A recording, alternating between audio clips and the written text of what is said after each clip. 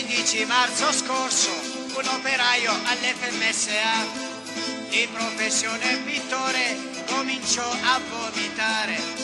I sintomi erano chiari, sintomi di intossicazione. Si chiamò una macchina che non arrivava mai. Eppure è molto strano che ci siano dei garage con macchine a disposizione e pochi direttori padroni e neppure una Topolino messa a disposizione di più di mille operai che lavorano qui da noi. Ma torniamo al 15 marzo dove si stava verniciando con speciale antiruggini all'interno dei motori. Non tutti conoscerete le vernici pietrificanti ottime caratteristiche tecniche, purtroppo però sono anche un po' tossiche. La verniciatura veniva fatta nel centro dell'area 444, nel bel mezzo di un'officina meccanica e di tutti gli operai che ci lavoravano dentro.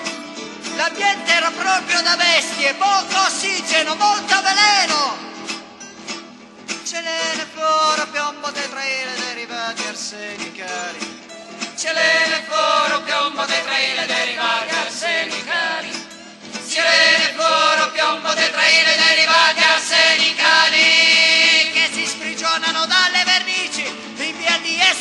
Essiccazione. Ciò che non è letale non fa male per le cose che non vogliono entrare nelle statistiche ufficiali. Ci sono le mute e le pompe funebri, gli ospedali. Ci è voluto uno dei nostri in preda alle convulsioni e una macchina che non arrivava per far smuovere la direzione. Ma la storia non termina qui. L'altro giorno alla fonderia hanno regalato agli sbavatori un nuovo reparto verniciatura. Così si risolvono i problemi, spostando di poco i veleni, sperando che gli altri operai, se zitti stiano buoni, si misura e si pensa